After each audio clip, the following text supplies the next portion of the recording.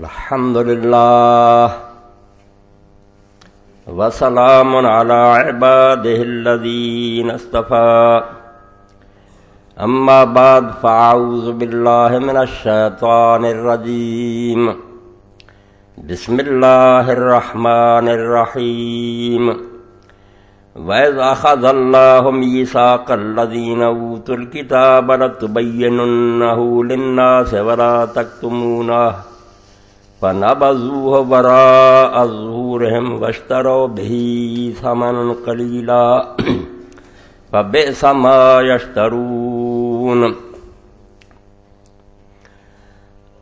अरब खुदरा बनूर मुस्तफ़ा सोख्त। चराग मुर्दा मशरक बरफ रोख्त। व वलेकिन आ खिलाफत राह गुम कर्द। के अव्वल मोमिना रा शाही आमोख मोहतरम सामीन कराम जनाब सैद आलम फ़खर बनी आदम हज़रत मोहम्मद रसूल सल्लाम का असल कारनामा ये नहीं है कि आपने कुछ अल्लाह की पूजा पाठ करने वाले दरवेश पैदा किए। ये काम इससे पहले भी राहब लोग करते थे। दुनिया छोड़कर गार, गारों में चले जाते, जंगलों में चले जाते, अल्लाह के रसूल इसलिए नहीं आए। सबसे बड़ा काम जो आपने किया, वो ये किया कि दुनिया में हकूमत इलाहिया कायम की। एक ऐसी हकूमत से लोगों को रूशनास कराया, जिससे पहले लोग मुतारफ नहीं थे। लोग ये जानते थे कि जो हुकूमत लोग करते हैं, वो बादशाह होते हैं, उनके महल्लात होते हैं, रेशमी फर्श विषय होते हैं पहरेदार होते हैं, सोना चांदी जो है इसके बर्तन में खाना खाते हैं। लाखों करोड़ों का वो खर्च हर महीना में करते हैं। मुल्क का खजाना उनकी ज़ाती जागीर होती है। रसूल करीम सलाम ने आकर दुनिया में कैसा ये काम किया जिसकी कोई नज़ीर नहीं मिलती, कि बादशाह को ख़त्म किया, खिलाफत को कायम किया। इसके बारे में अलामा इकबाल रहमत के अशार मैंने पढ़े कि रसूल्ला के नूर से अरब भी चमक उठा, मशरक़ के लोगों ने भी उसकी पैरवी की तो वहाँ भी रोशनी फैल गई। दुनिया ने यह अजीब नज़ारा देखा। कि कैसर रोम का सफ़ीर आता और वो मदीना मनवरा में पूछता कि आपका बादशाह कहाँ है? तो लोगों ने कहा, हमारे यहाँ तो बादशाह कोई नहीं होता। हमारे यहाँ अमीर है। उन्होंने कहा, उसका माल कोई माल नहीं। वो कहाँ मिलेगा? उन्होंने कहा बैतुलमाल के ऊँट चलाने गया हुआ। वहाँ गए तो हज़रत सईद उमर रज़ी अल्लाह तैनो अपना हाथ सराने रखे, दोपहर के तपती रेत पर सोए पड़े थे। पसीना बह रहा था। वो सफ़ीर कांपने लगा। उसने कहा यह शख्स है? कोई पहरेदार नहीं, कोई दरबार नहीं। हमारे बादशाह इसका नाम सुनकर कांपते हाल ये है कि ऊँट चला रहा दोपहर के? और जब लोगों का अमीर उमिन आप किसी गुलाम को भेज देते तो फरमाया, बोझ मैंने हुकूमत का उठाया है, साहब मैं दूँगा, गुलाम क्यों ये धंधा करे? ये नक्शा इस कायनात में लोगों ने कभी नहीं देखा था। खुद सरवर कायनात सल्ला वसलम दिन जिनसे बढ़कर अल्लाह ने कोई वजूद नहीं पैदा किया। और ना उनका नमूना कोई और आएगा हुँ? तो रसूल करीम सलाम का ये हाल कि कोई अपने लिए इम्तियाज़ नहीं था, कोई अलग मसरत नहीं थी गड्डी नहीं थी जहाँ बैठे हों। आम नमाजियों में मिलकर बैठे हुए हैं, कोई शख्स आता है तो हैरान होता, पूछता है कि तुम में अल्लाह का रसूल कौन है? बतलाना पड़ता कि यह है मोहम्मद इबन अब्दुल्ला सल्ला लोग उठकर खड़े होते हैं अदब के लिए, हालाँकि लिए खड़ा होना चाहिए तो हजूर के लिए खड़ा होना चाहिए ना तो हज़रत फरमाते हैं, इसको भी आपने पसंद नहीं किया कि मेरे आने पर कोई खड़ा ना एक शख्स आया, कांपने लगा, रोब से बदबी था। हजूर ने फरमाया, क्यों डर रहे हो? मैं स्वागत का बच्चा हूँ जिसको ताज़ा गोश्त नहीं मिलता था। वो खुश किया हुआ गोश्त साल भर पका का कर खाती थी।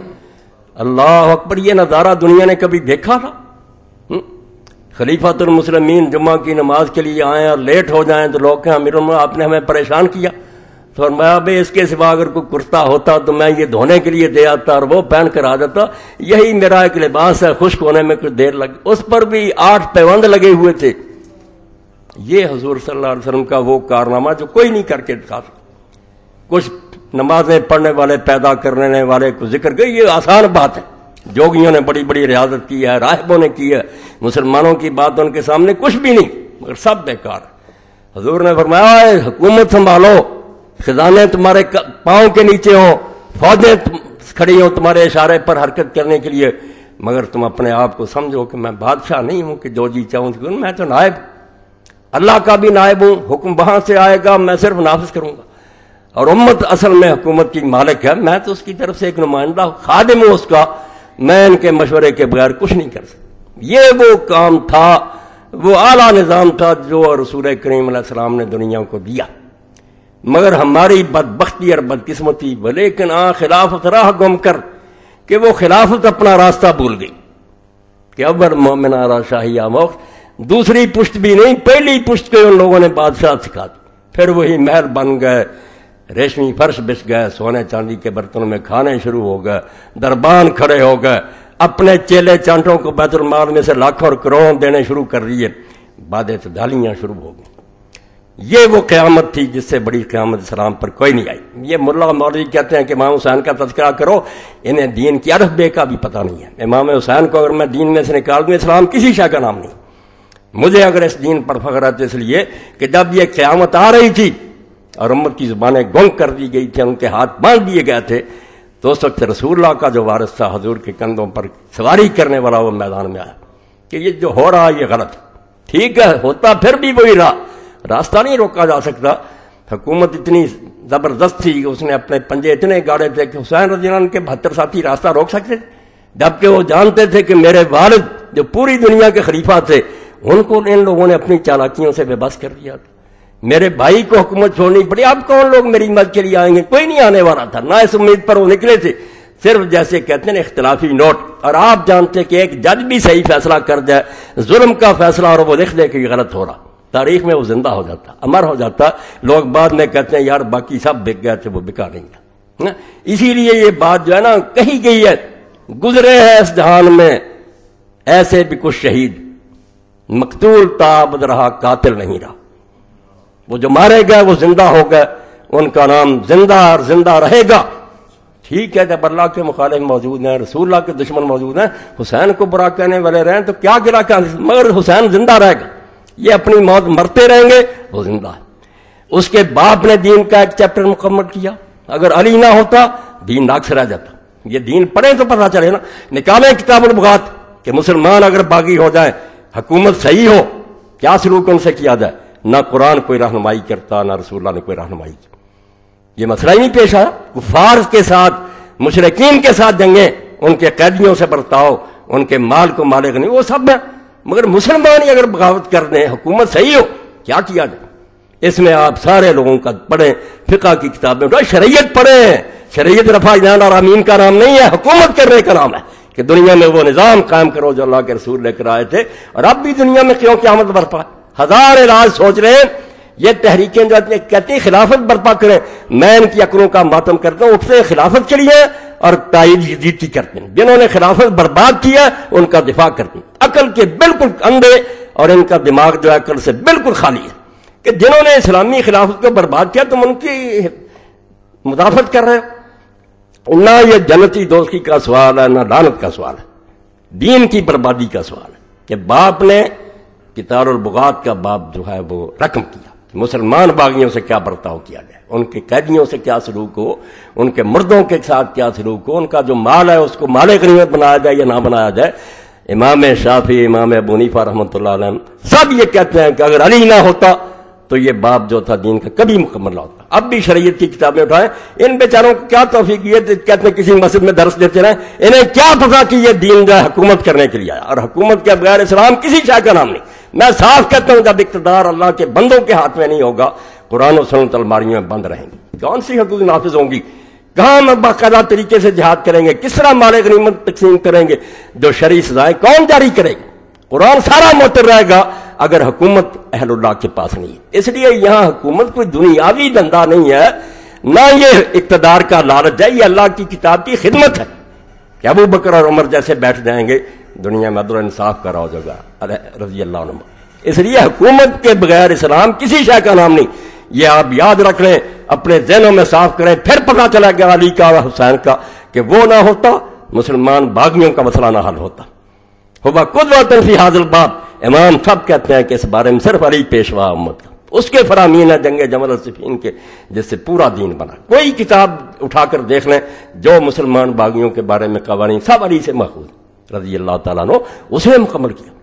और हुसैन ना होता तो मुसलमानों को यह पता ना चलता कि अगर हुकूमत बिगड़ जाए मुसलमान तो उसका क्या इलाज किया जाए।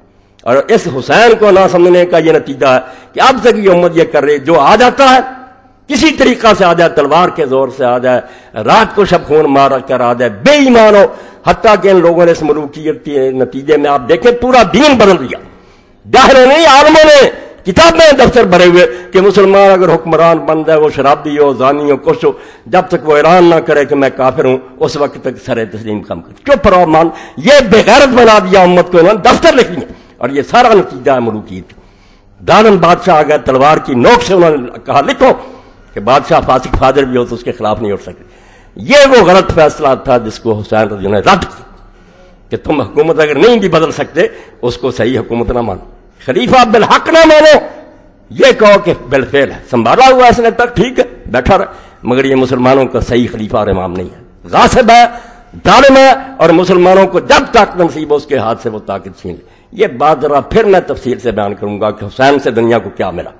क्या दीन मुकम्मल हुआ? ये कहते हैं, दीन ज़िंदा होता कर वे कौन भाई नमाज़ रोजा तो सिखों ने नहीं रोका। अंग्रेज़ों ने रोका, अगर यही दीन है तो ये आपका रहेगा। बेशक कम्युनिस्ट आ जाए और अगर दीन वो है जो मोहम्मद रसूल लेकर आए तो मर गया था। बिल्कुल मार दिया था, और उसको किसी और ने नहीं मारा। मैं अलानिया कहता हूँ, और हदीस की रोशनी में कहता हूँ, और इस पर सारी उम्मत का इतफाक है ये हज़रत हुसैन रज़ी के इस इख्तलाफी फैसले की बरकत है, कि कोई माँ का लाल आज तक कहले सुनत रह हदीस में से हज़रत मुआविया रज़ी को खलीफा राशिद नहीं कह सकते। एक भी नहीं पैदा हुआ आलम जो कहे कि वो सही खलीफा थे। मुसलमानों के हुक्मरान थे। हालाँकि रसूल्ला के वो हैं साड़े भी हैं, सब कुछ है, मगर उनकी हुकूमत को सबने लिख लिया कि यह गैर इस्लामी हुकूमत है। मुसलमानों की हुकूमत ज़रूर है, इस्लामी हुकूमत नहीं है। जो लोग बात यजीद से शुरू करते हैं कभी हुसैन समझ में नहीं आ सकता। अमीर मुआविया से चलो। इस शख्स ने सबसे पहले इस्लाम में बगावत का आगाज़ किया। अबर मम बगावत इस्लाम मुआविया। यजीद जैसा भी नहीं था हज़रत अली खलीफा था, साहबा ने, महाजर अंसार ने चुना था। सबसे पहले इस शख्स ने बगावत का ऐलान किया और बहाना हमला लिया हज़रत उस्मान रजियों के खून का। बिल्कुल गलत बात अली जान जानबूझ कर भी साथ ना लेता, क्या होता? फासिक ही होता ना? उसने खुद भी हज़रत उस्मान को मारा होता, एक बदकार होता। काफिर हो गया था। क्यों बात नहीं की उसकी?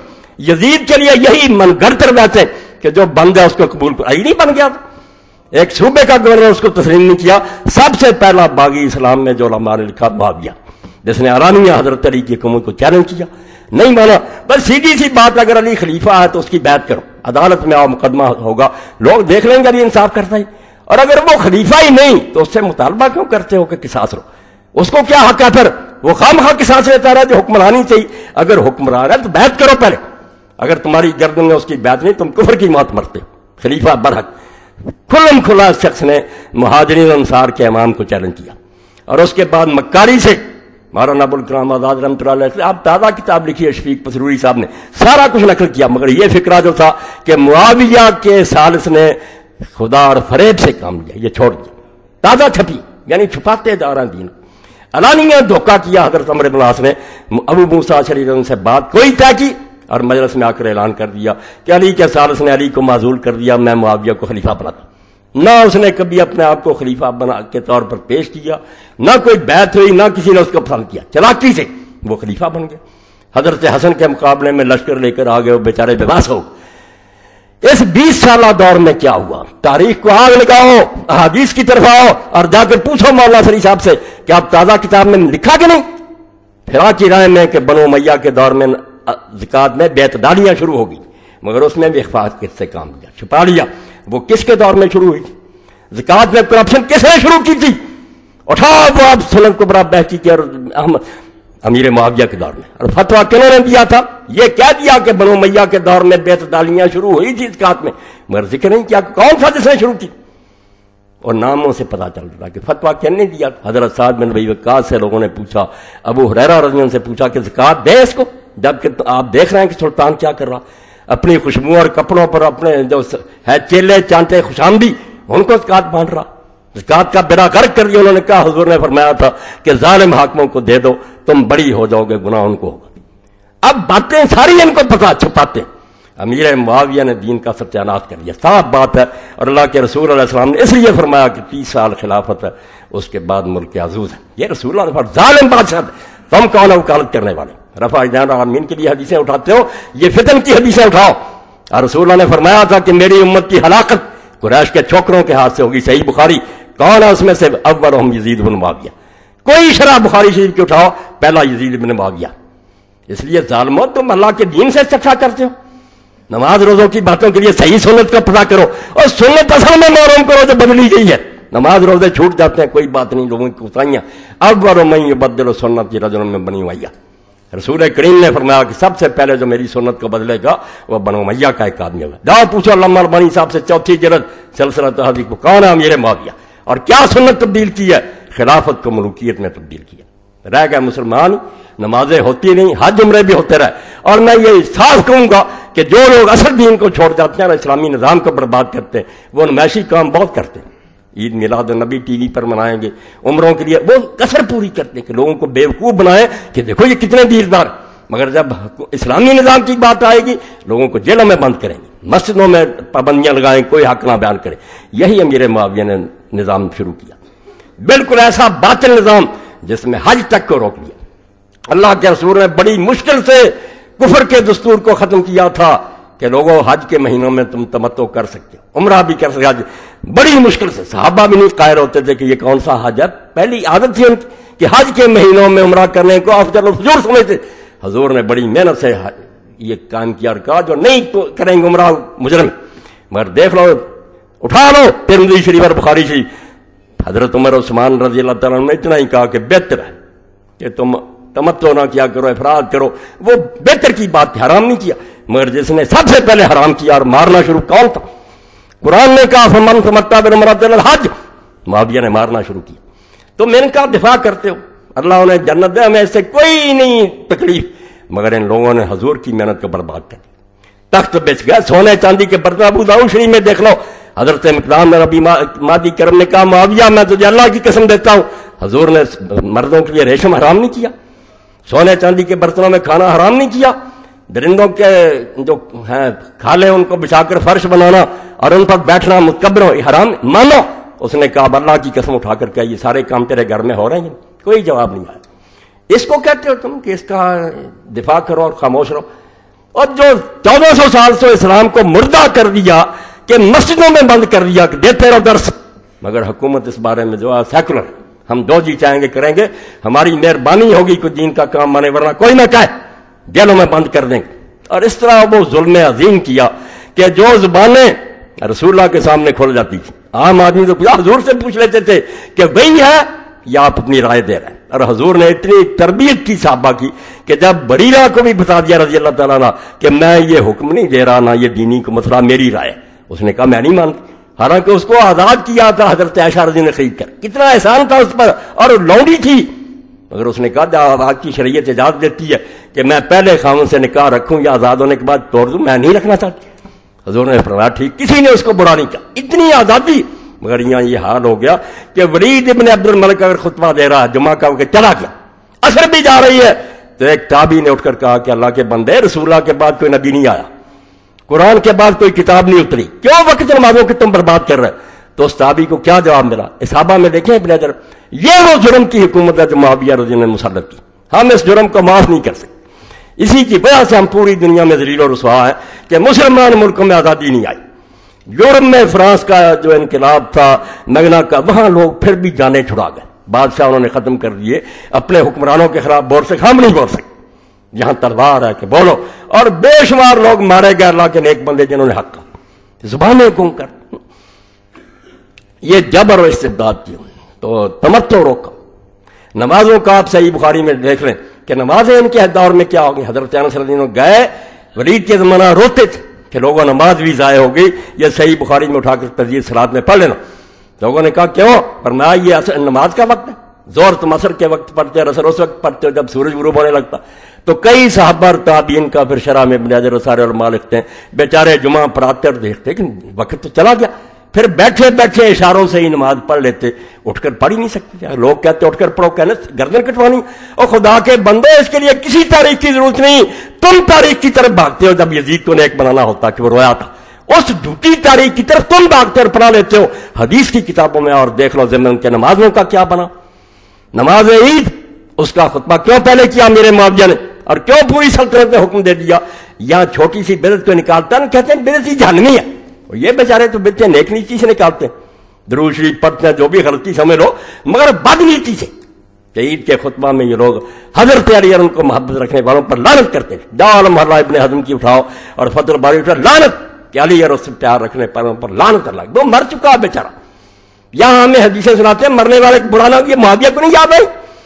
मुगीरा बिन शोभा को लानत करता था जब हज़रत सईद बिन सैद ने कहा, हया कर, अली मर चुका तुम अब भी मेम्बरों पर उसको लानत कर। ये हदीसों में है। मैंने हदीसों से निकाल कर दिखाना कि या ये दफ्तर दरिया बुर्द करो, या खुदा का खौफ करो। हुसैन की मेहनत को जाया ना करो। उसने इस्लाम को बचा लिया कि ये काम सारा गलत है, होता रहे। और उसी की बरकत है कि अदना से अदना मुसलमान भी इन बदमाशों के जमाने में चुप रहेगा। कर नहीं सकता कुछ। मगर उससे पूछो कि अबू बकर उमर की खिलाफ हदीसों की एक ही जैसी? वो कहेगा, नहीं नहीं नहीं, ये कोई हुकूमत इस्लामी नहीं है। ये सारा जुर्म जात ये हुसैन रजियन के उस फेल की बरकत है, वरना मोर लगती जा रही थी कि जो हो रहा, ठीक हो रहा। इमाम ने भी बीस साल सबर किया। कोनों पर बैठे रहे। जो यजीद से शुरू करते ना कि इसको अमीर मुआविया ने नामदद कर दिया इसलिए नाराज़ हुए, बिल्कुल झूठे। बात पर पर्दा डालने के लिए मुलाओं ने शुरू किया, कहते हैं, यजीद ने क्या था? मैं कहता हूँ, हज़ार दर्जे का फरिश्ता होता हूँ, तब भी मानती था। क्यों हुकूमत पर रहा मुसलमानों के मशवरे के बगैर? और उसके बाप ने जिस तरह बैठ ली, इसके हवाले दूँगा। किस तरह तलवारें लटकती थी लोगों की तरफ़ बुखारी शरीफ से निकाल कर खुदा के बंदो हुसैन रजियों की कदरी करते।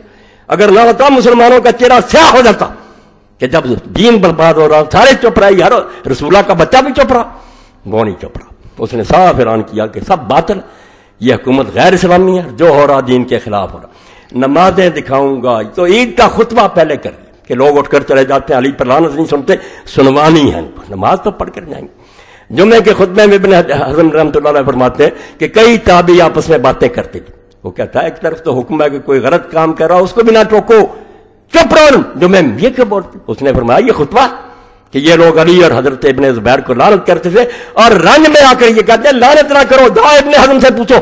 उनसे बड़े मुहदस हो तुम और खानदान बनो मैया से। उसने खुद कहा क्या लाना, लायना। जो अली और इबन जुबैर को लानत करते थे, अल्लाह उन पर लानत कर। करनी चाहिए, हमें भी करनी चाहिए। कि अली और इबन जुबैर जैसे साहबा पर लानत करते ये बद रस्म इन्होंने शुरू की और मेंबरों पर होती रही। जिस गरीब ने इनकार किया उड़ा दिया हजर इबन अदी जैसे साहबी, राहब साहब रसूल्ला हजूर के साहबा में दरवेश क्यों मारा गया?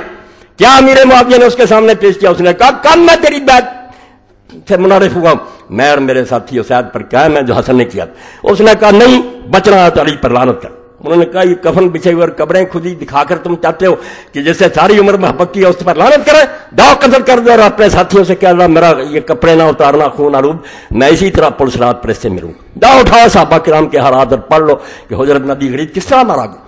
यानी बाद रस्में शुरू कर अली पर लानत, जो अगर ना होता और उसका बाप ना होता, मैं साथ कहता हूँ, अबू तालब इस्लाम लाया या नहीं लाया? कोई मुसलमान का बच्चा यह नहीं कह सकता कि अबू तालब का सारा अल्लाह तला रसूल नसीब ना होता, पता नहीं दिन का क्या हाल होता। खुद अब्दुल्ला बिन मसूद फरमाते हैं, सात आदमियों ने ऐलान किया था हमने इस्लाम का, इबन माजा में रसूल्ला को बचा लिया आप, अल्लाह ने आप पे चचा के ज़रिए। कोई अबू तालब की ज़िंदगी में उंगली नहीं कर सका दो तकलीफें दी आपको उसके बाद दी। और अली अगर ना होता तो आप देखती हैं, आपके बिस्तर पर लेटा, जंगे बदर में में जितने मारे हैं, फरिश्ते निकालो, किसने मारे हैं? और यही भुगता बाद में अली। और उसकी औलाद। दुख क्या था?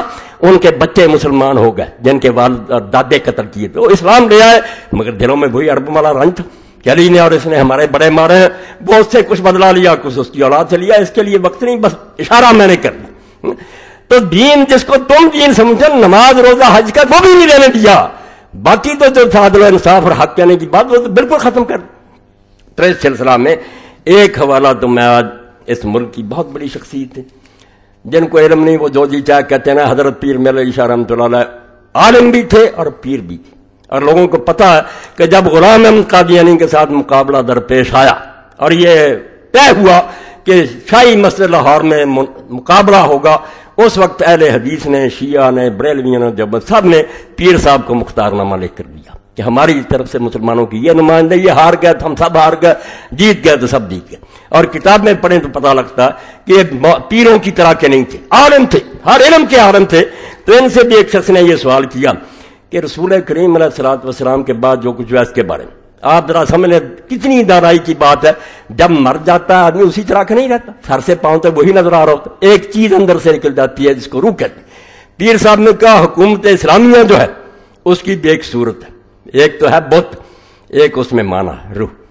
पहले चार खलीफे ने उस वक्त सूरत भी है कि मुल्क भी है, खजाने भी हैं, लश्कर भी हैं, फतूहत भी हो रही और माना भी है कि वो खलीफे जो इस्लामी हुकूमत की जान अपने को बादशाह नहीं समझते, अल्लाह का नायब समझते हैं, उम्मत के गुलाम समझते हैं, खादम समझते हैं, खजाने में से एक पाई इजाज के बगैर नहीं ले सकते। बाद में क्या हुआ? फरमाते हैं बस जाम बाशन सूरत खिलाफ, यानी रियासत आमा व माना उरा, यानी कुरब नफूस अम्बिया मिसल खुलाफा अरबार मुरजवात जो खलीफा राशिद होता है, जिसमें शक्ल भी होती है मुल्क तो इसी तरह होता है, जिस तरह दुनिया के दूसरे बादशाहों का। खजाने होते हैं, फौजें होती हैं, फ़र्क क्या होता है? रूह का। उसके अंदर रूह क्या होती है? वो अंबिया के करीब होता जो नबी काम करते हैं, वो करता वो अपनी तरफ़ से कुछ नहीं करता। जैसे पहले चार खलीफे फ़र्क की कदर हस्त के दर अहद खुलाफा सलासा नफाद सर्व इजमाय मुसलमिन अला सबीर कमाल सूरत याफ्ता। फ़र्क इतना हुआ कि पहले तीन खलीफे जो थे, उनके जमानों में खलीफा का कंट्रोल और मुसलमानों का इतफाक पूरी तरह रहा। व दरहद मुर्तजी माना कामिल, यानी कुर्ब नफूस अम्बियाबूद जब हज़रत अली मुर्तजा का दौर आया, कुत्ते भोंकते हैं, अली के जमाना में कुछ नहीं हुआ।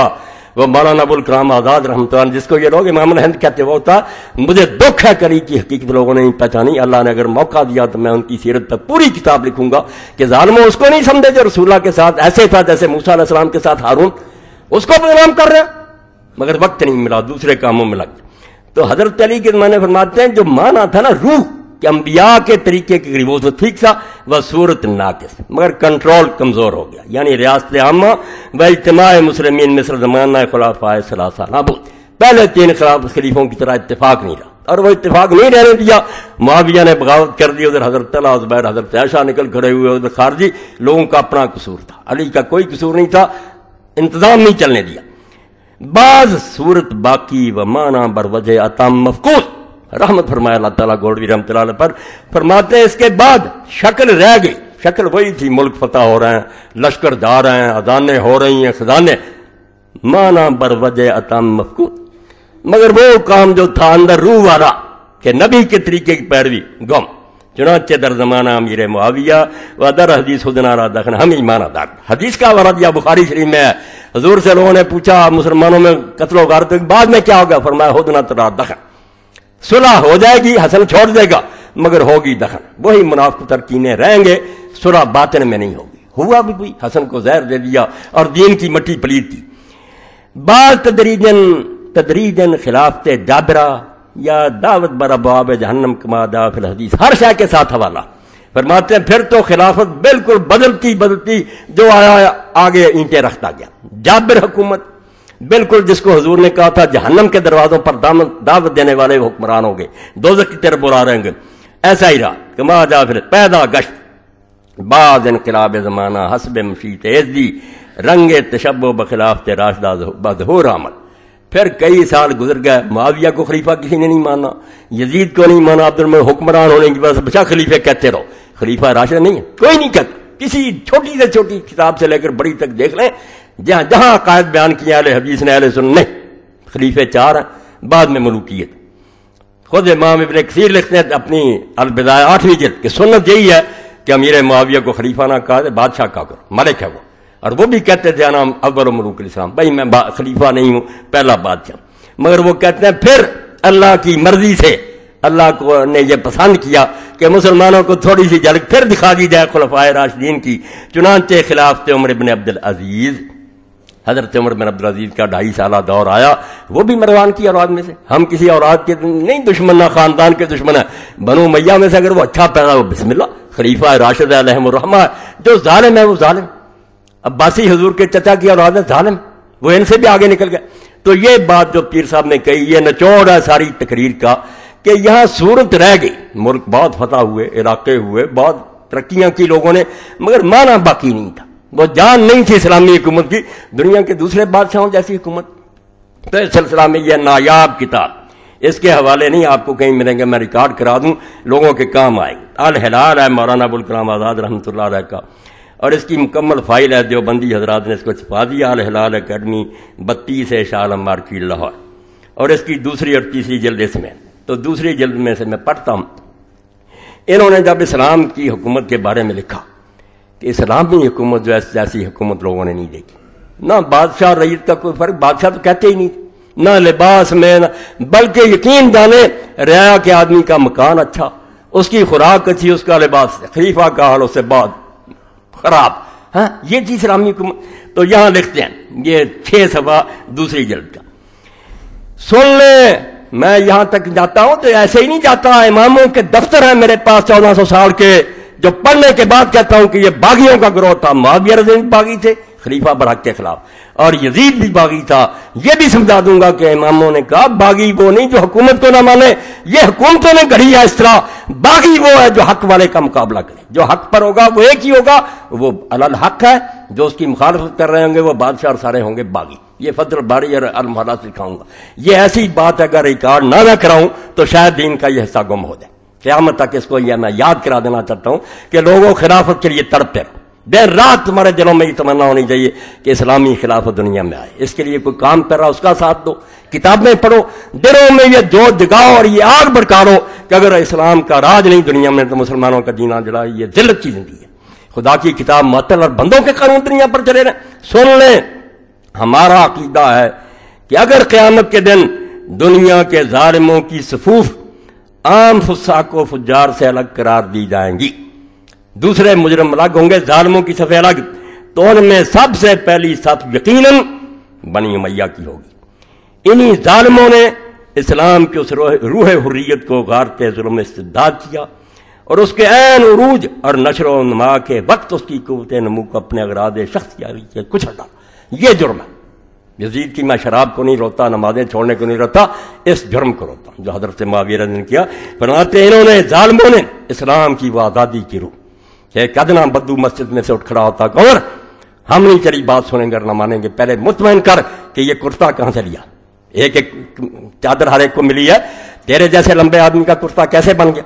ये थी आज़ादी की रूह जो गुलामों और अदना बंदों में हजूर ने भर दी थी। मगर इसको इन्होंने छीन लिया। एक तरफ़ रुपए तकसीम किए दूसरी तरफ़ तलवार लहराई कि जो बोलेगा सर उड़ा दिया जाए। जालमों ने इस्लाम की इस रूह हुर्रियत को गारते जुर्म इस्तेदाद किया और उसके ऐन रूज और नशो नमा के वक्त उसकी कोत नमू को अपने अगर शख्सिया के लिए कुचल डालो।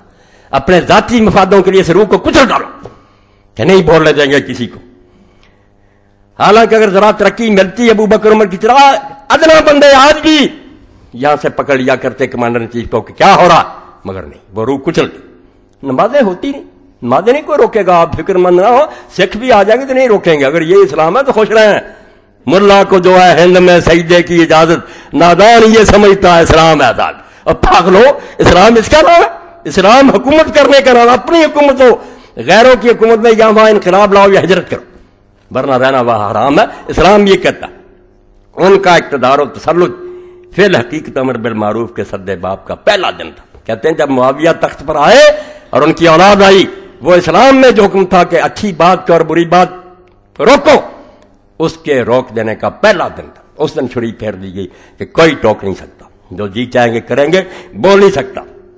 ना सिर्फ़ ये कि उन्होंने इस्लाम की जमहूरियत को गारत गारत करके उसकी जगह शख्सी हुकूमत की बुनियाद डाली, जो यकीन एतकाद कुरानी की रूह से कुफर जली है। इन मुलाओं को कौन समझाए? वो कहता है, जब जमहूरी हुकूमत खत्म होगी और शख्सी हुकूमत बन गई कि मेरा राज और बाद में जिसको चाहूँगा दूँगा, ना? अब्दुल मलिक वरीद को दे गया, सुलेमान बेटे को दे गया, मगर वरीद की नीयत खराब होगी उसने चाह, मैं बाप की वसीयत खत्म कर दूँ। यानी तमाशा बन गया इस्लामी हुकूमत, मुसलमान, बस देखते हैं कौन आ रहा बोल नहीं कर सकता क्या हो रहा। वरीद का चाह अपने बेटे को दे जाऊँ। हा? और ये जर्नैल जो थे हजाज बिन यूसुफ और मोहम्मद बिन कासिम कुतैबा में, ये भी साथ होगा। उन्होंने कहा, ठीक है वरीद ठीक कहता, उसके बेटे के सामने हो जाएँगे। जिधर रुख देखते हैं, बादशाह को उधर हो जाते ना, सुलेमान को पता चल गया। उसने कहा मैं नहीं ये वसीयत बदलने दूँगा। खैर, वरीद मर गया, सुलेमान आ गया। उसने बैठते हजाज को भी मतल किया, जायदाद जब्त की, बुरे हाल में मारा। मोहम्मद बिन कासिम को घोड़े के पीछे बाँध कर मारा कि तुम मेरी वसीयत खत्म करना चाहते ये इस्लामी हुकूमत से ये तमाशाए बने फिर। कुतैबा बिन मुस्लिम मरा, मूसा बिन उसैर गलियों में धक्के खाता, सारे जर्नैल उसने मतल करके बुरे हाल में उन्हें मारा। तो ये हुकूमत तमाशा बना दी मुसलमान मुसलमान नहीं बोल सकते, इनका कोई दखल नहीं, हम कुछ ज़बरदस्ती बैठ जाएँगे किसको देते जाए। तो मौलाना लिखते हैं, ये कुरान की उसे कुफरे जली है। छोटा कुफर नहीं, नंगा कुफर कि एक इंसान बादशाह बन गए बल्कि सबसे बड़ा जुर्म यह किया कि इजहार हक और अमर बिल मारूफ की कोद को तलवार के ज़ोर से दबा देना चाह। पिछलों ने नहीं माविया ने जाओ साहबा के हालात देखो, किसी गरीब ने कहा, इसी का हाकिम हक में बने अमर गफारी खुद कमांडर बनाकर भेजा। माले गनीमत लिखा कि सोना चांदी निकाल कर मज़े दे दर बाकी कुरान के मुताबिक तस्लीम करो। ज्याद ने यह खत लिखा, उसने कहा, नहीं अमीर मोमिन के खत से पहले अल्लाह की किताब है। पाई पाई तकसीम होगी जैसे कुरान कहता और सदा क्या मिली फिर उसको? हुँ? उसी वक्त मुतल करके बेड़ियाँ लगाई और वो जेल में भरा साहबिया इस हुकूमत की बात करते वो नाराज़ यजीद की बातें करते रहते हैं कि यजीद कुछ भी नहीं। वो तो उसके बाप के जुर्म देखो कि दीन के साथ इसने क्या बर्ताव किया। क्या इस्लाम का बना? और किस तरह अल्लाह के नेक बंदों की जुबानें काटी गई? हाँ, और मुसलमानों की हक गोई को तलवार के ज़ोर से और मुसलमानों की हक गोई की तरक्की गुना वरवरे को मुजमल कर दिया। सहम गए? भाई रोज कौन मरता है? डर गए लोग नहीं बोल सकते। तम ताहम क्योंकि अहद नबूत का फैदान रूहानी और तालीम कुरानी का असर अभी बिल्कुल ताज़ा था। हजूर का असर इतनी जल्दी तो नहीं दूर हो सकता। अभी लोग थे, इसलिए अगरचे तरह तरह की बिदात और मोहदसात और मासी का बाज़ार गर्म हो गया था। ये तुम्हारे यार हदीसों के मामले हिंद लिख रहे हैं कि बिलतों का बाज़ार गर्म था और गुनाह की रेल पेल थी। लेकिन फिर भी अमर बिन मारूफ की आवाज़ की गर्ज कूफा दमिश के ऐवान और महल को लर्जा देती कभी कभी कोई निकल आता था, दीवाना जो महल में जाकर ऐलान कर देता था कि बेशक उसका सर काट दिया जाता, मगर निकलते रहे। ये मैंने पढ़ा एक लंबा, मगर इसमें थोड़ा सा पढ़ दिया अब दूसरी बेद का लिखते हैं। कहते हैं, ज़िक्र ना करो। उन्होंने किए काम हम सिर्फ़ बयान ना करें। हम्म? सत्यानाश किया दीन का, कमीर अली जैसा आदमी रसूला का दामाद, खलीफा राशद, और रसूला के साथ ऐसे जैसे मूसा के मेंबरों पर, कि जुम्मे के खुतबे में भी दूसरे हिस्से में रख दिया, कि जहाँ खतीब और बातें कहे, ये भी कह के, लान अल्लाह अली वाला मुहिबी अली और उस पर मोहब्बत रखने वालों पर लान। जा पूछो, मैं सलमान रजीना से रसूला की बीवी से। गया एक आदमी, उन्होंने कहा, तुम्हारे सामने मेंबर रसूल पर हजूर को गालियाँ दी जाती हैं। हदीस! उन्होंने कहा, माँ, कौन गाली दे सकता? उन्होंने कहा, कहते नहीं कि अली और उससे मोहब्बत रखने वालों पर लानत मैं हजूर के घर में रही हूँ, सबसे बढ़कर मोहब्बत अली से हजूर रख करते थे। ये कहाँ तक बात जाती? हुँ? और हजूर ने कहा, जिसने अली को गाली दी, उसने मुझको गाली दी। ये हदीसें ऐसे हमारी सही। इनको छुपाते और तुम तारीख को आग लगा दो, मैं कदम लगा दो। तुम्हारे सारे जो झूठे मसले हैं ना हुसैन वापस आना, ये वहाँ से ही तुम लेते हो। हदीस की तरफ़ नहीं आते। हदीस में इनका शक्ल देखो तो कभी भी नाम ना मेरे को। तो फिर फरमाते हैं, इन लोगों ने, बनी मैया का सबसे बड़ा जुल्म जो उन्होंने इस्लाम पर किया यह था कि खिलाफ थे राशदा इस्लामिया को, जिसकी बिना इजमा मशवरा मुसलमिन पर कोई नहीं बैठ सकता जब मुसलमान अपनी मर्ज़ी से ना चुने। और यह भी कोई बैत का तरीका नहीं कि बाप तख्त पर बैठ जाए, बैत ले ली। ये तो लेते हैं लोग रेफरेंडर कहते हैं। ये बैत होती है। तख्त पर बैठा सारे हाँ जी हाँ जी कहते हैं। बैत इसका नाम है कबू बकर अमर की तरह बेख्तियार हो। तुम्हारी कोई हुकूमत नहीं है। फिर लोगों से पूछो। बादशाह पूछता अपने लिए कि मुझे मानते हो ये नहीं? या बा, बाप बेटे के लिए पूछता बादशाह कोई दीवाना ही होगा जो इनकार करेगा? ये बैत कहलाती नहीं जुर्म है। बैत मांगनी मांगी नहीं जाती की जाती मेरा जी चाहता किसी को वोट दूँ नहीं चाहता क्यों तंग करते मुझे? हम्म, हज़रत साहब बिन उबादा ने ना अबू बकर की की ना उमर की की किसी ने नहीं पूछा। क्यों पूछना था नहीं, वो सही समझा, ठीक है। ज़िंदा रहा, उसकी इज़्ज़त है उसी तरह। सख्ती के बैत करो। तो फरमाते हैं कि बदल दिया। हुकूमत शख्सी व मुस्तबिदा व सल्तनत मलिकिया, सियासिया में तब्दील कर दिया। और हुकूमत की बुनियाद शरीयत पर नहीं रखी, बल्कि महज कुत और सियासत पर। कुरान हदीस से नहीं पूछा जाएगा हाँ अपनी पावर से करें। ठीक है, कुरान की कुछ बातें मानते थे, वो मेहरबानी थी उनकी। जैसे आप भी मान लेते। जो इनको फ़ायदा मंद हो, वो उसका नहीं इनकार करते, ये हुक्मरान जो नुकसान पहुँचाए कि ये बेहयाई नहीं होनी चाहिए पर्दा करो, ये क्यों तुम मौसीकी नहीं नहीं, छोड़ो इतिहाद की ज़रूरत है। तो भाई, हमेशा ऐसे करते कुरान हाकिम नहीं रहता, बेचारा खड़ा है साहिल, जो उसकी बात मान ले मान ले, जिसको चाहे रद्द कर दे। और तारीख इस्लाम के तमाम सिगारों के बार व आली आदि, अदानी, बहुत मुश्किल लिखते थे आधे छोटे, बड़े आदना, इस पर मुतफिक हैं। और तमाम अहले सुन्नत व जमात का इस पर इतफाक है। जो नहीं इतफाक रखता, वो अहले हदीस नहीं है, कोई नासबी है पलीद है। अहले सुन्नत का इस पर इतफाक है कि ये एक सख्त बिदत थी और मुताबिक इशाद साद को मसूक सलाम खुद हजूर के फरमान के मुताबिक मुल्क के अजूज का आगाज़ था।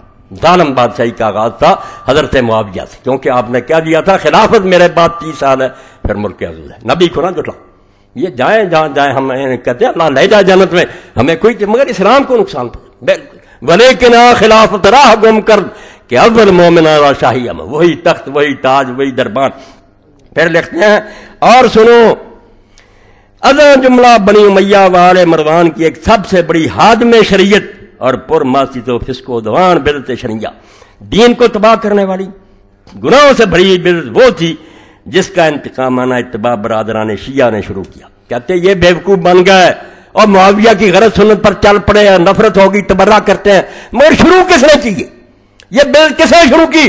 शियों ने नहीं की, हज़रत मुआविया ने शुरू की। और अफसोस है कि बदबख्ताना शायद आज तक करते हैं। ये शियों के बारे कहते हैं कि वही सुनत पर अमल करते थे यानी सबसे पहले सरजमीन इस्लाम में जो रहम मोहब्बत और सुरो अखुवत ही की तुखमरेजी के लिए बनी थी कि प्यार इस्लाम प्यार के लिए।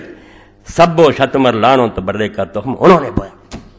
लानत! और वही घरों में बैठकर नहीं मुकदस मसाजिद इस्लाम में, जो सिर्फ़ इबादत तो तात लाही वाजकार और अशकार मुकदसा के लिए बनाई गई थी कि अल्लाह की याद की जाए और यहाँ दरूद पड़े जाएँ।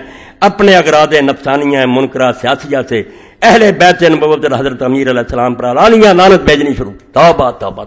अब कहते हैं साबी को बुलाना, जिन्होंने मेम्बरों पर लानत की अली को। अली साबी भी नहीं है। अल्लाह का खौफ करो और चीखते रहे हज़रत सईद बिन जैद जैसे दूसरे कि जालमो मेंबर पर खड़े होकर अबू दाऊद शरीफ में से निकाल लो कि शर्म नहीं आती रसूला ने उसे जनती कहा दस जनती साहबा और तुम उसको गालियाँ दे रहे हम्म? इसके बाद फिर फरमाते हैं कि इन लोगों ने क्या क्या किया? बिल्कुल दीन इस्लाम का तमाशा बना लिया। बनी उमैया की सबसे पहली बिदत और इस्लाम और मुसलमिन पर उनका अवलीन जुल्म यह था कि निज़ाम हुकूमत इस्लामिया का तख्ता यकसर उठ दिया। और खिलाफत राशिया जमहूरिया सैया की जगह मुस्तबिदा डिक्टेटरशिप व मुल्क के अजूज की बुनियाद डाली, ये इनकलाब बहुत शदीद था। आज लोगों को महसूस ना ना चलो जी, जो जी चाहे आ गया। तो ये इसलिए कि दीन से हम दूर हो गए। हमें पता ही नहीं कि हुकूमत तो ड्राइविंग सीट है। ये मामूली बात नहीं, जैसे ड्राइवर गलत बैठ गया, वो रह जाएगा जिधर को ले जाना चाहता आप करते रहें तो रोते रहें। वो अगर जाना चाहता गंगा को आप मक्का नहीं जाएँगे। कभी नहीं जाएँगे। हुक्मरान जो है, ये अमीर है, उसके हाथ में बागडोर। ये गलत हो गया, सारा किबला टेढ़ा हो जाएगा। इसलिए फरमाते हैं, ये इनकलाब बहुत शदीद था। छोटी बात नहीं थी, दीन बर्बाद हो रहा था। और बहुत मुश्किल था कि मुल्क को इस पर राज़ी किया जाए। अभी लोग ताज़ा थे। साहबा कराम भी अभी मौजूद थे और खिलाफ रास्ता के वाकत बच्चे बच्चे की ज़ुबान पर थे। इसलिए किस चीज़ से काम दिया गया? लोग तो तड़पते थे, क्या हो रहा इसलिए इस एहसास इस्लामी को मिटाने के लिए तलवार से काम लिया गया। तलवारें नंगी हो गई जल्लाद खड़े हो गए कि बोलो जो हुकूमत के खिलाफ बोलता। और जिसने कुत हक व मारूफ से ज़ुबान खोली उसको जोरो शमशेर जोरे शम, उसको जरो शमशेर खंजर। जर भी इबन इस्तियाब लिखते हैं इबन अब्दुलबार इस्तियाब में कि लोगों ने पूछा कि मुआविया क्यों कामयाब उसने कहा मैंने बेहतर मार से लोगों को देना शुरू कर लुटा दिया खजाना जहाँ से उम्र एक उंगली शायद की नहीं लेता था जब तक उम्मत से इजाज़त नहीं लेता। करप्शन शुरू कर जोरो जोरो शमशेरो, खंजर से चुप कराया गया। रफ्ता रफ्ता, एहसास, मुनकलब और ख्याल पलटे खाने लगे। चौदहवीं सदी तक पहुँचते पहुँचते सब कुछ बदल गया। लोगों के दिल से वो बात ही निकल गई कि ये हुक्मरान क्या करते हैं टोकना और हकीकत रोज बरोज मस्तूर और महजूब होती गई। मिट गई सर। हम्म? अब एक आखिरी हवाला पढ़ूँगे इसलिए कि ये नहीं मिलेंगी। दूसरी, तीसरी जल्द जो है अल हिलाल की। इनको तो लोग ढूंढते थे उस माने। दाखानों के आगे खड़े होते थे मुसलमान के अल हलाल। क्या बात है? इसकी जो ज़ुबान थी ठीक है, वो बाद में कांग्रेस में मिल गए मायूस होकर मुसलमानों से, मगर अल हिलाल और बलाग ने मुसलमानों में जान फूक। ये पर्चे अगर कोई पड़ेगा पता चलेगा कि उस मुर्दा मुसलमानों में जान किसने फूकी। जहाँ जहाँ मुसलमानों पर जुल्म हो रहा था सारा तो फरमाते हैं ये अब इमाम हुसैन के बारे में अशरा मुहर्रम राम इसमें से बाकी चीज़ें फिर पढ़ूँगा। आज सिर्फ़ इतना ही पढ़ूँगा कि क्या था ये जिसके खिलाफ हुसैन उठा। बनी उमैया की हुकूमत एक गैर शरी हुकूमत थी। कोई हुकूमत जिसकी बुनियाद जबर शख्सियत पर हो, कभी भी इस्लामी हुकूमत नहीं हो सकती। हाँ? बेशक वो बड़ी हो, नमाजें पढ़े तहजत पढ़े, जालिम जो लोगों की मर्ज़ी के बगैर आया, वो गासिब है। मेरी ज़मीन पर अगर कोई कब्जा कर ले, वहाँ वो नमाजें पढ़े मस्जिद अमीर के, वो गासिब है। ज़मीन मेरी उसने छीनी है, उसका सारा काम गलत। उसका एक अमल भी दुरुस्त नहीं। उन्होंने इस्लाम की रूह हुरीत और जमहूरी को गारत किया और मशवरा इजमाय उम्मत की जगह मैज गलबा जाबराना और मकरो खुदा पर अपनी शख्सी हुकूमत की बुनियाद रखी।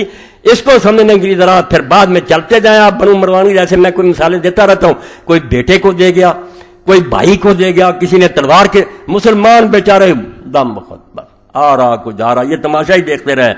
उनका निज़ाम हुकूमत शरीत लाहिया न था, बल्कि मैं अगराज नफसानिया व मकासद सियासिया, ऐसी हालत में ज़रूर था। ये सुन लें हुसैन का कारनामा।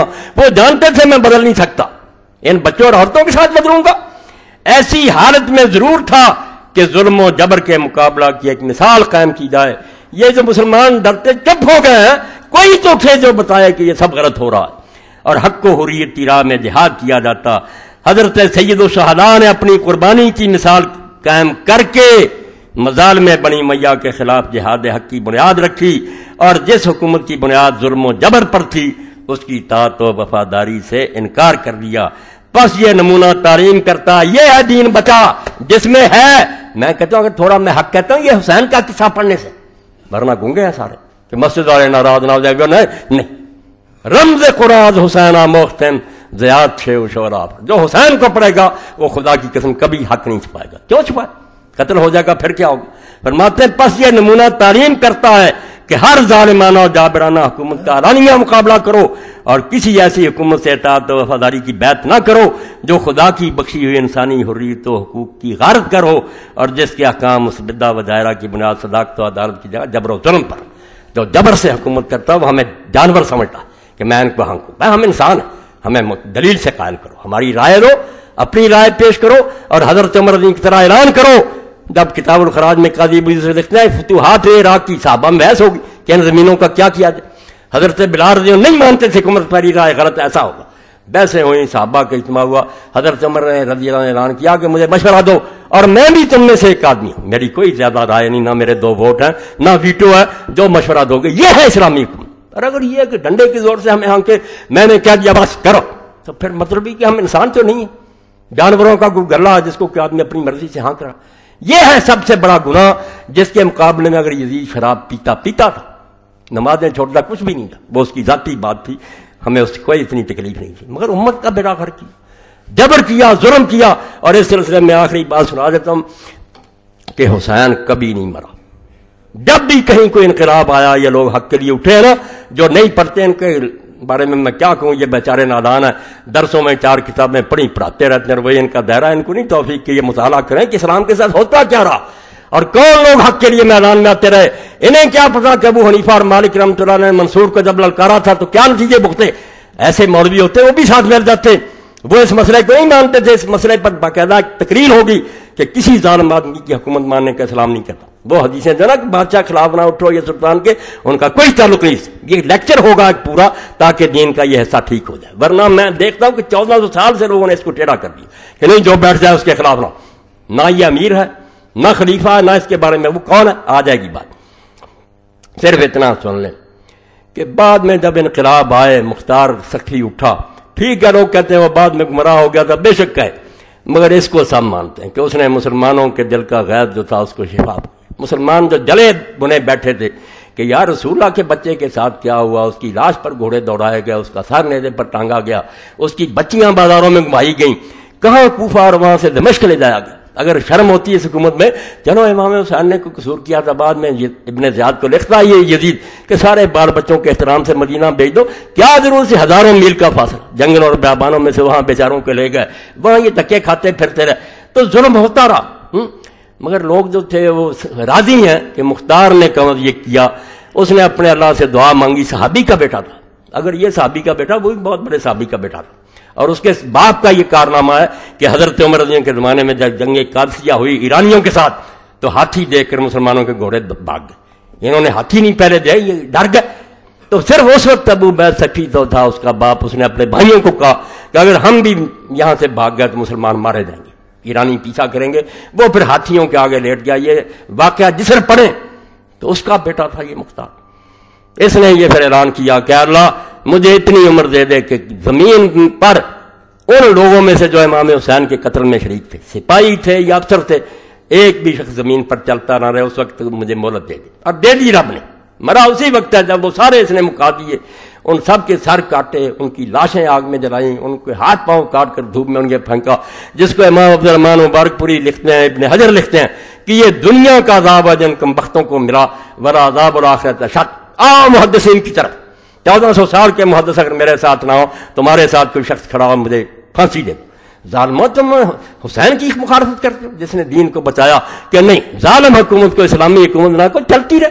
ठीक है, हम रोक नहीं सकते, मगर ये फतवा हो जाना चाहिए कि गलत। और उसी की बरकत है। मैंने कहा, सारी उलम, उम्मत के उलमा जो हैं, एक भी नहीं तो ज़रूरत करे कि यजीद तो गुजरा हज़रत मुआविया को कह दे कि वो खलीफा राशद। उसका कोई हवाला दे कि उसने फैसला, नहीं। फैसले खत्म होगा कि नहीं, ये जायर है, इमाम जायर और जालिम है, करते रहे।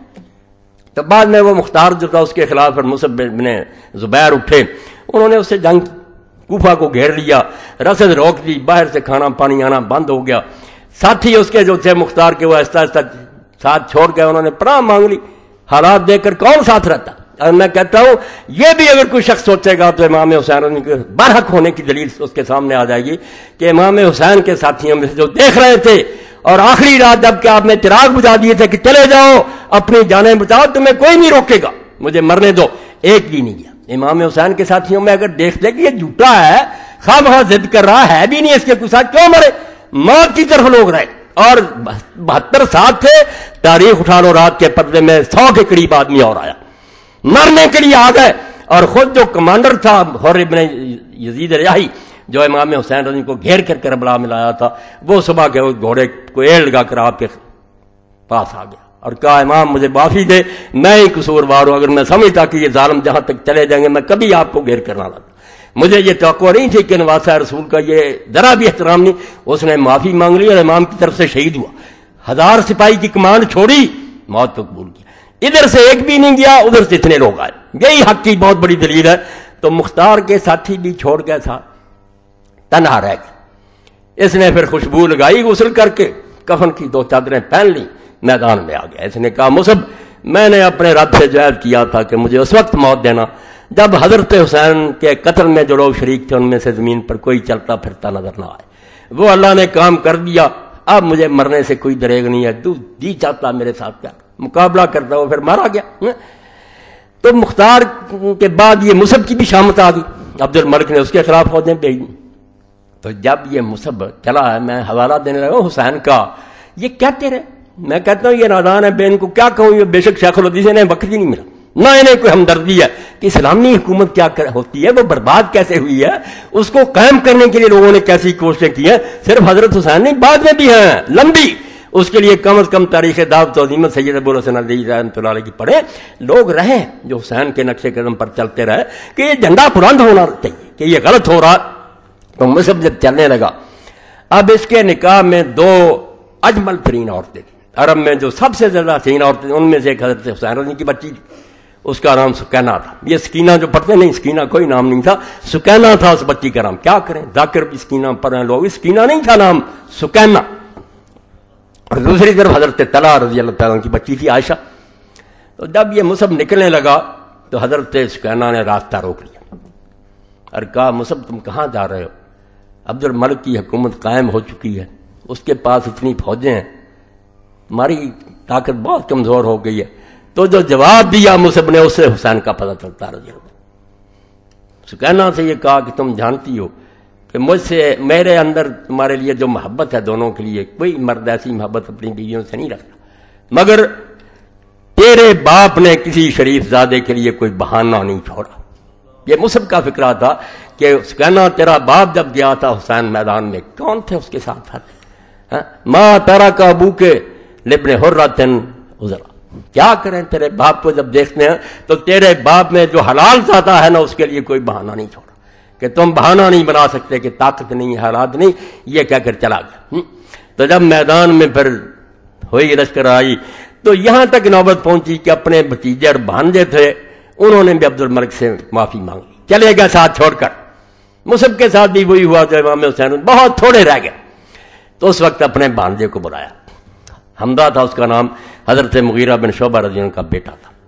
हमजा को बुलाकर उस वक्त मुसब ने कहा कि हमजा, बताओ। इबन जयाद ने हज़रत हुसैन से कहा था कि अपने आप को मेरे हवाले कर दे, फिर मैं फैसला करूँगा कि क्या करना चाहता हूँ। तो हुसैन ने क्या कहा था? उस वक्त याद आया हुसैन। उसने कहा, मामा जी, हुसैन ने कहा था कि इज़्ज़त की मौत जो है ना, वो जिल्लत की ज़िंदगी से बेहतर है। दलील बनकर गुलामों की तरह जीने से इज़्ज़त की मौत मर जाना बेहतर है। और साथ ही ये शेर पड़ा फिर मुसलमान मैदान में घुस गया। उसने कहा, ठीक है इन रुला बितफ़ मिनाल हाशमन किराम तासिया। हाशम की औलाद में से अठारह जवानों ने, जो फातमा के बच्चे थे, एक दूसरे की खैर खाई करके और अपनी जानें कुर्बान करके एक नमूना दे दिया।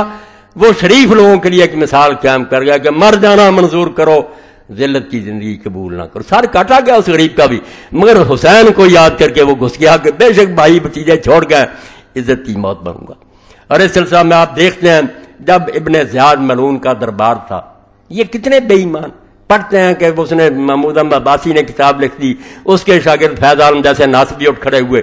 अब इन को यह भी शर्म नहीं आती कि जाकर पूछे असरी साहब से और अलामा साहब रहमत फौत हो गए कि जब वो कत्ल हुआ था और ये बात हुई थी कि उसके लिए दुआ करो, क्या फरमाया था अलामा साहब ने उन्होंने कहा वह हदीस था, हया करो, हमारा ये मतलब है कि अली खलीफा नहीं था और ये यजीद वली था, ये नासबी था, हम इसके लिए कोई दुआ नहीं कर सकते ये अंधे हुए, सबने वो किताबें छुपाई हुई, और कोई किताब नहीं इनके पास, आप देख रहे जब निकालेंगे, फैज आलम के रिसाले और हया करो, हदीस की किताबें खत्म हो गई हम्म।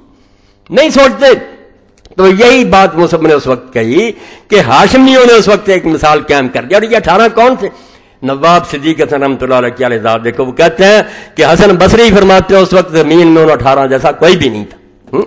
बेमिसाल लोग थे, कोई जवान था, कोई बच्चा था, और जा रहे थे बारी बारी। हम्म। कसरे बनी मुकातल जब पहुँचे थे, करबला से पहले तो इमाम साहब को जरा ऊंग आ गई, और ऊंग से जरा बेदार हुए तो बार बार फरमाया तो बेटे ने पूछा लिया अकबर ने अब्बा जी, क्या हुआ?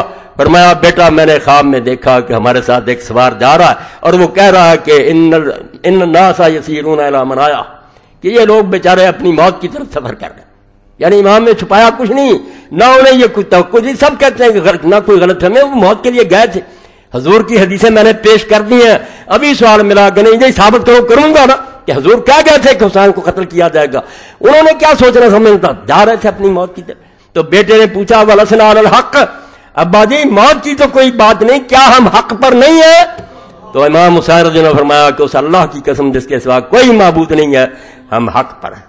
तो बेटे ने फरमाया कि अब्बा जी, फिर हम मौत को शायद से ज़्यादा मीठा समझते तो इमाम ने फिर दुआ की कि अल्लाह ताला बेटा तुझ पर अपनी रहमत नाजल करे, मुझे ऐसे बेटे की तो तो इसलिए अल्लाह के बंदो, इस किस्से को किस्सा ना समझो। किस्सा होता तो कई लोग मारे गए, हम उनको रोने पीटने नहीं बैठते।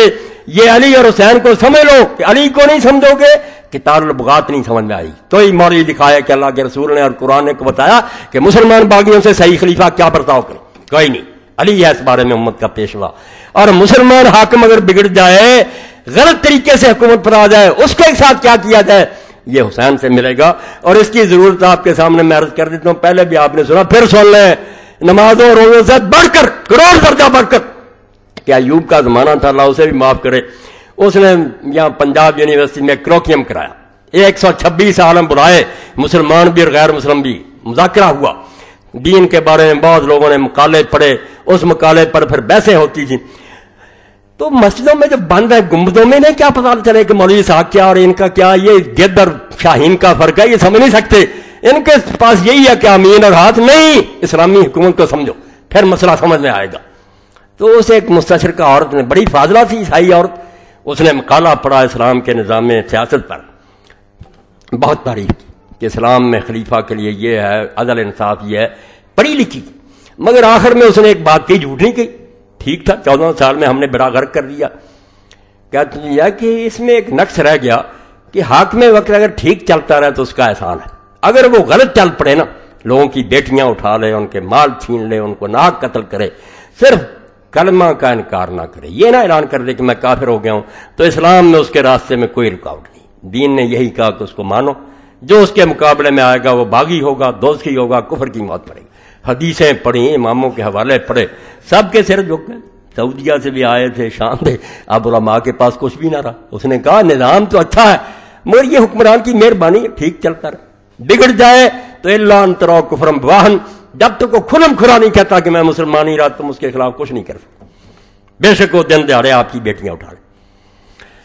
तो अल्लाह रहमत फरमाया मौलाना मौजूदी साहब रहमत पर, उन्होंने देखा कि ये तो सारा मामला ही तबाह होगा उन्होंने फिर मौका होता था ना कि सब लोग अपना तबसरा करें। मौला ने अपनी तकरीर में कहा कि मेरी फाजला बहन ने जो कुछ कहा ये ठीक है कि अब जमहूर उम्मत के उलमा यही कहते हैं। सदियों से ये कह रहे हैं ये गलत नहीं कह रही मगर ये कोई दीन का हुक्म नहीं है। दीन नहीं ये कहता ये मजबूरी से लोगों ने यह मसला नज़रिया ज़रूर से गाड़ लिया वरना दीन कहता मौका मिले तो उसका रास्ता रुख हम्म, इसके लिए हज़रत हुसैन रजीम की मिसाल दी।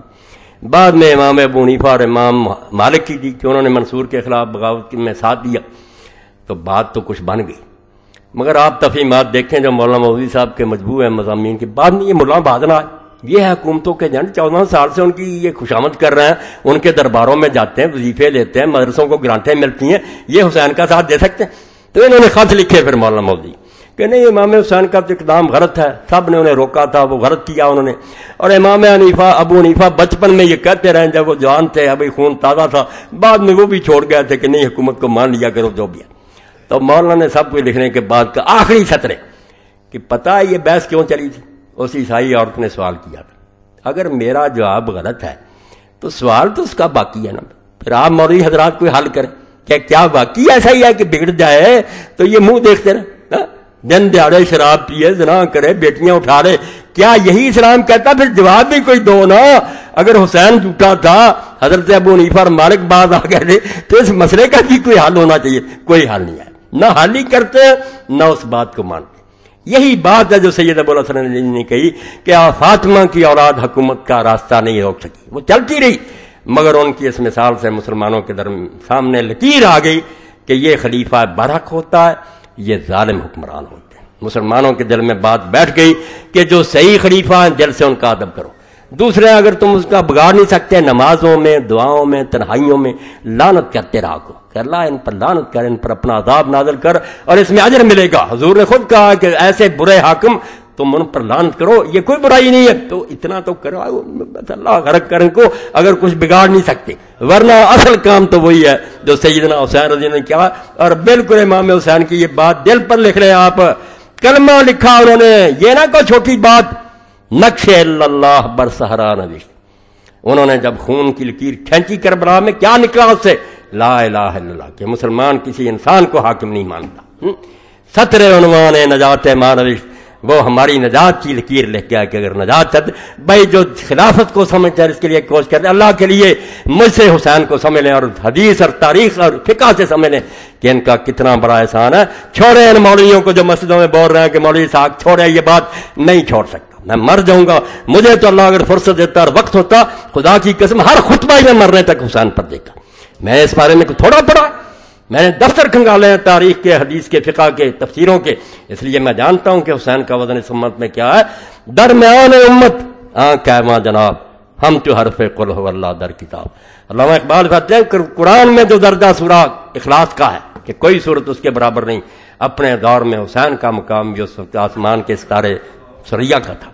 कौन उसका का पैदा हो सकता? बाकी जो लोग चुप कर रहे हैं, मैं उनका उजर भी बयान करूँ। इंशाला ये चीज़ें आ जाएँगी। छोड़ूँगा नहीं कि सहाबा चुप रहे थे, दिखाऊँगा कितने थे।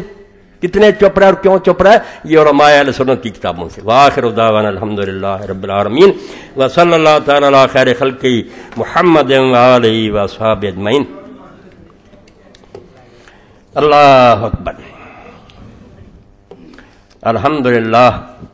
वसलाम ये सवार आप सुन लें इन फिर इनके बारे में क्योंकि वक्त कुछ ज़्यादा हो गया। क्या हज़रत हसन रज़ी ने छः माह तक खिलाफत संभाली? क्या उनकी हुकूमत खुलाफा राशदीन में नहीं है? अगर है तो खलीफा पाँच बनते वजात फरमा दें। हज़रत हसन रज़ी की खिलाफत भी खिलाफत राशदा। छः महीने उसको भी आने सुन के मगर वो कोई मुश्किल हुकूमत नहीं बनी, ना देर तक रही। बस वो बने हैं, मुआविया लश्कर लेकर आ गए, इसलिए उनको अलहदा नहीं ज़िक्र करते, वरना उनका दौर भी खिलाफत का दौर ही। जी। मौलाना यह बताइए यजीद कैसे मरा? अपनी मौत ही मरा। शेख हमीदुल्ला साहब दिल की तकलीफ़ की वजह से अस्पताल में दाखिल है, उनकी सेहत की दुआ की दरख्वास्त है अल्लाह हमारे साथी को शिफा दे। बाद में करेंगे दुआ। होता हुआ ऑनलाइन की तमाम सीरीज़ मास्टर मूवी की तैयार करना आप किसी भी एतवार की सीडी लेना चाहते हैं, इस जुमा के बाद तारीख लिखवाएँ और आइंदा जुमा मतलूबा सीडी हासिल करें। तेरह दो पाँच, बीस दो पाँच की सीरीज़ और गुजशत सीरीज़ तमाम मौजूद हैं। बार स्टाल से रबता करें। ले लें। गुजशत जमातुलमबारक सैन अली व हुसैन किताब ख़त्म हो गई थी।